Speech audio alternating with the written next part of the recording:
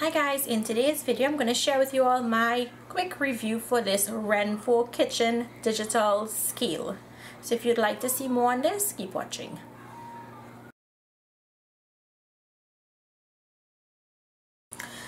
So this is a nutrition calculator. It has app control, it has a diary feature, customized function, and coffee timing. So let's open this.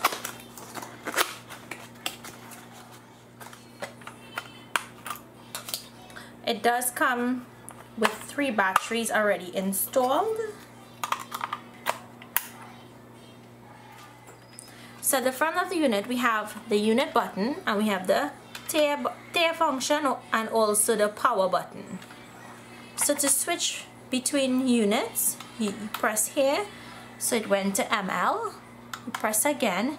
Goes to grams. Press again. Pounds. Ounces full ounces, which is liquid measurements. And then we have ounces, and then back to mLs. So let me show you how the tare function works. So you're going to put it on the unit that you want it on. So let's do pounds, ounces. Put your bowl.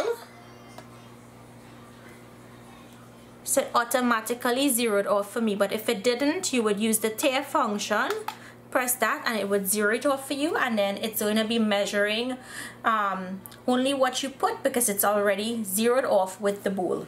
And then you put in what you want to weigh like so. And it gives you your weight one pound three one pound three one five ounces. So that's as easy as it is to use. And then if you want to switch between the weights you can do that from right here and it will switch for you so guys, with this scale, you can connect it to your phone. It keeps a diary of what you're using, um, plate and diary. You can do your calorie intake. Um, so let me just show you in the book how it is.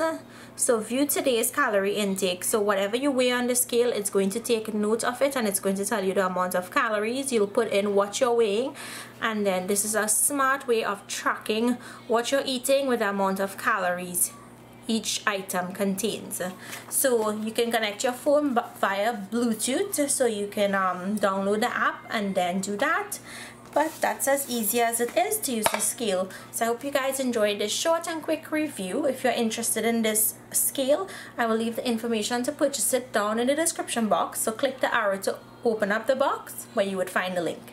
Thank you guys for watching and I'll see you in my next video. Bye